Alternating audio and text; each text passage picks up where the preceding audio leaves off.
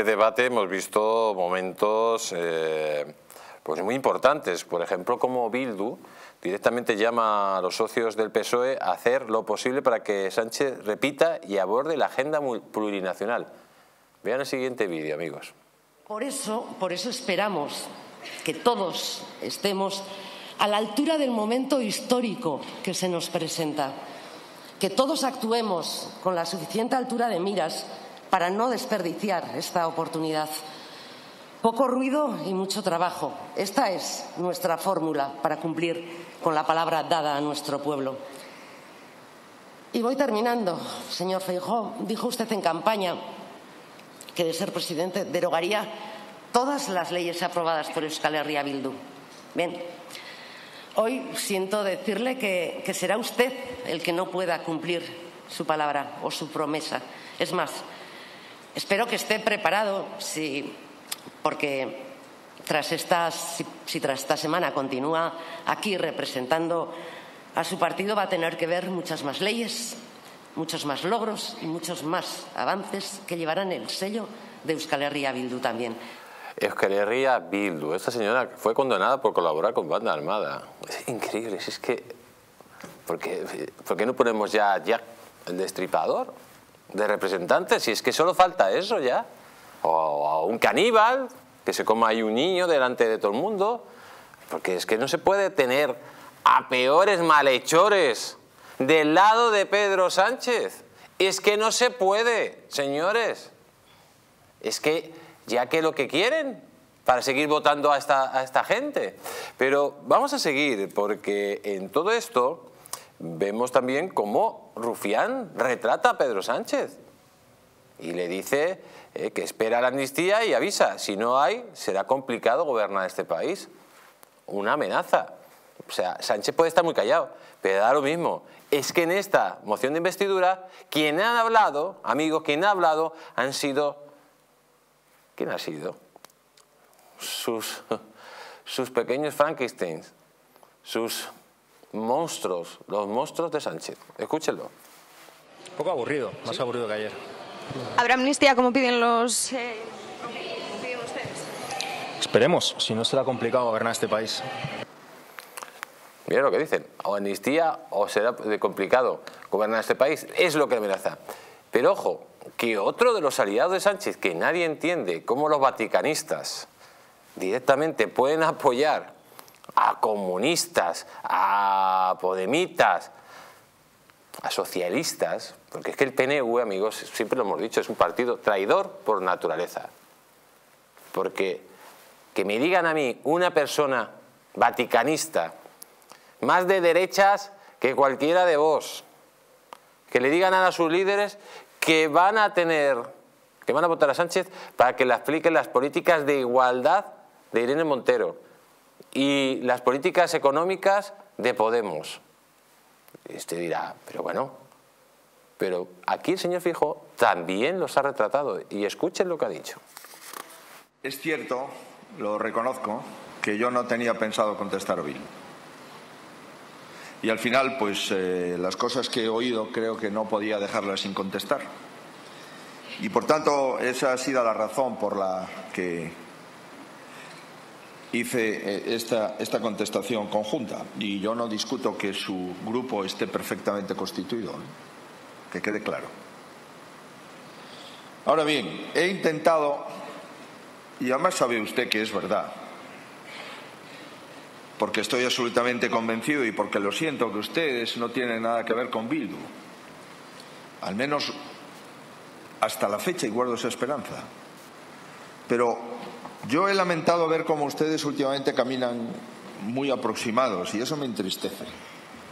Porque es malo para la libertad en Euskadi, es malo para la libertad en el conjunto de España.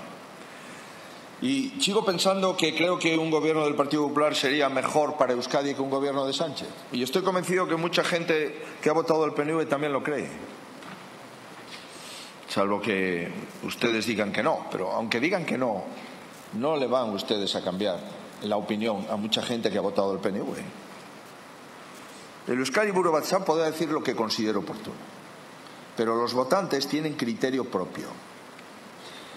Y sería un gobierno sin duda, en el que estoy convencido que usted nunca me diría que les he usado al PNV como a un Kleenex. Estoy convencido que usted eso no me lo diría. Y en cambio se lo dice al señor Sánchez, ¿quieren seguir siendo ustedes el Kleenex en los próximos años? Pues yo creo que es una frase brutal, eh, señora Rubio. El PNV se está convirtiendo directamente en el Kleenex de Pedro Sánchez, porque desde que ha llegado Pedro Sánchez en el poder, el PNV está perdiendo votos, está pidiendo poder, eh, ahora ya Bildu, en las últimas elecciones, sacó más votos que ellos, en definitiva, le está saliendo muy caro al PNV apoyar a Sánchez, porque al final le está poniendo una alfombra roja al PNV a Bildu, porque al final, con quien tiene como interlocutor Sánchez no es al PNV, es a Bildu directamente. Claro, y bueno, es que, es que están siendo víctimas de su, por decirlo de alguna forma, de su propia estupidez y de su propia eh, espíritu traidor. El PNV tiene una historia lamentable, tiene una historia llena de, pues sí, de traiciones, de miserias. Yo no sé, a veces me pregunto cómo después de todo lo que vivimos en la guerra civil, etcétera, etcétera, haya partidos que han decidido coger las siglas de partidos nada de airosos. Pero bueno, yendo al PNV ahora, es que el PNV está priorizando su odio a España por encima de sus creencias, de sus convicciones y de sus valores. O sea, solo el odio a España por encima eso de sus creencias, es un partido que realmente es un partido religioso, se está juntando con gente eh, totalmente, mm, pues bien, no, ya atea, sino, sino eh, atea militante, anticatólica.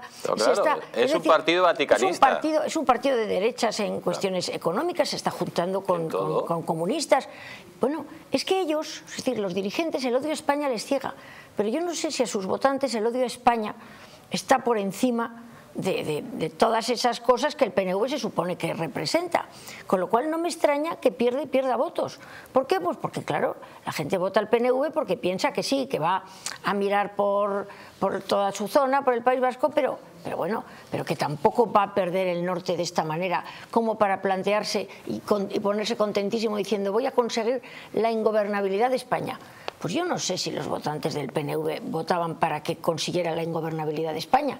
Yo creo que votaban para conseguir prebendas y prebendillas, que es lo que hasta ahora se ha estado haciendo, pero no para esto porque no creo que sean tan insensatos. Entonces, ¿Y, lo de Rufián directamente habla? Bueno, lo de Rufián es una vergüenza. Eh, o, hay amnistía o no se gobierna España. No, no pues se va a poder, se va a gobernar muy difícilmente. Eso es una amenaza, una amenaza como a, pues, pues eso, a, disturbios civiles y a todo tipo de cosas. Yo no sé a qué se refiere, pero sería como para preguntarle, como para que los periodistas le paren. ¿Quiere usted decir por qué, usted explicarnos por qué se va a gobernar tan mal?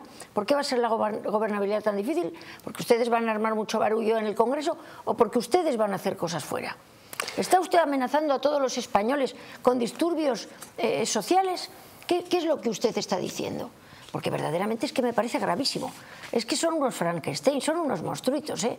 son unos auténticos monstruitos. Y lo malo en este tipo de cosas, y tenían que haber aprendido de la historia, es que cuando uno busca la inestabilidad de esa manera al final es como el tren de la bruja y los escobazos les caen a todos también a ellos y que se acuerden de la guerra civil y como hubo mucha gente que estuvo empujando y empujando para que se creara un conflicto bélico cuando lo consiguieron luego no salieron tan bien parados sufrimos todos pero, pero los que lo montaron también. Y este señor que sepa pues eso, que le pueden caer muchos escobazos como organice un tren de la bruja